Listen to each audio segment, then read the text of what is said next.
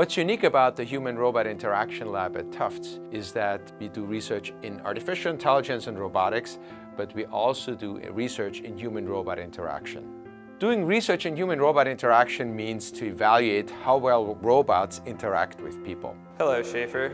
Hello, Brad. Our robots use a very unique combination of learning from natural language instructions and demonstrations.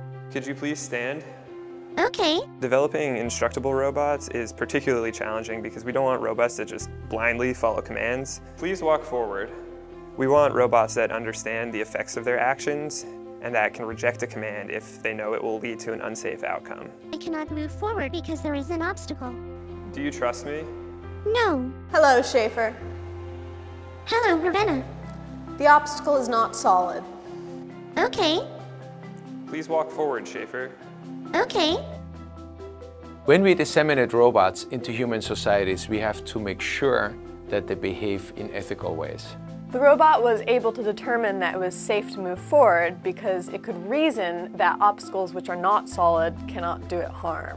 Our mission is to serve society and to ensure that our technology is safe for all. Our lab is different from other groups in AI in that our agents are not learning from large data sets. Instead, our agents are learning quickly through natural language instructions and demonstrations. Do you see the knife?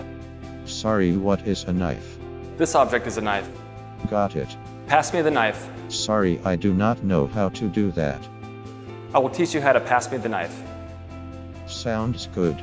Pick up the knife. Sorry, I do not know how to do that. I will teach you how to pick up the knife. Sounds good. We can instruct robots based on the nature of the object and on the context the robot is in. A knife is used for cutting. Okay. The gray part of the knife is the blade. Got it. The orange part of the knife is the handle. Got it. To pass a person a knife, grab the knife by the blade. Okay. Pass me something used for cutting. The Human-Robot Interaction Lab performs research at the forefront of technology. We are developing cutting-edge technology in artificial intelligence and robotics.